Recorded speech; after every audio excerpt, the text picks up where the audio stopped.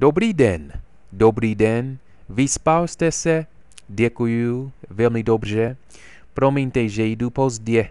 Měl jsem na křižovatce nehodu. Kudy jste jel? Z domova doleva, potom doprava rovně až na křižovatku u obchodního domu. Tam se to stalo. U semaforu, když jsem od, odbočoval sem. Co se vlastně stalo? Nic moc, mám jenom trochu pomačkaný blatník. Kolik to, kolik to stojí oprava blatníku? Asi 500 korun, ale ten druhý řidič to zaplatí. Prý, jsem na to zvědav, ale mám jeho adresu. Aspoň musíte mít nový blatník. Zaplať pan Bůh. Tak pojďte, jedeme, ne, jedeme na ten uh, fotbal nebo ne. Tak dobře, když auto máte jakž takž v pořádku, jen pozor na křižovatky.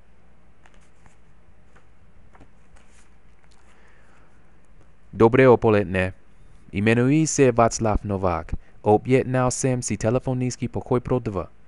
Ano, pane Nováku, vyplňte prosím tento formulář. Děkuji. Tady, tady jsou klíče. Číslo vašeho pokoje je 312. Je to ve třetím poschodí. Vítaje vpravo vedle schodiště. Vaše zavazala budou v pokoji za okamžik. Kde můžeme parkovat? V podzemním parkovišti hotelu. Můžete mi říci, kde dostaneme snídany? Restaurace je v prvním patře. Snídaně se podává od 7 do 10 hodin ráno. Snídaní si také můžete objednat na pokoj. Je snídaně zachnutá v scéně? Ne, není.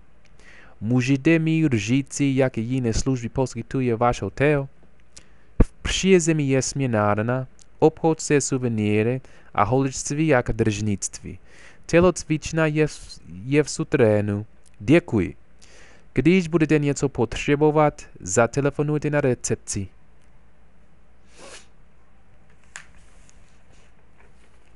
Pokoj. Tohle, tohle je náš pokoj. Vpředu stojí malý stůl a jedno červené křeslo. Nalevo je velká postel, na horže visí obraz. Na obraze je morže. Vzadu je žlutá lampa a hnědá skříně. Na skříni jsou hodiny. hodiny. Vedle stojí nové rádio. Ve skříni je slovník a kniha. Co je napravo? Tam je WC a malá koupelna. Je v pokoji jenom jedna postel? Ne. Druhá postel je tam vzadu napravo. Jsme tady dva, David a já. Je David taky cizinec?